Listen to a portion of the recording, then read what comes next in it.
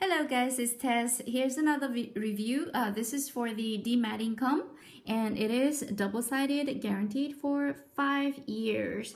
Um, now, just holding it on my hand, uh, it gives you a little, uh, I think, instruction in the back and introduction. Um, just holding it in my hand, I could feel it's pretty heavy duty. So, and it's very heavy actually. Um, let's take a look. Yeah, the handle is made with real, really durable plastic, um, nylon plastic material. And then of course you get the metal part here.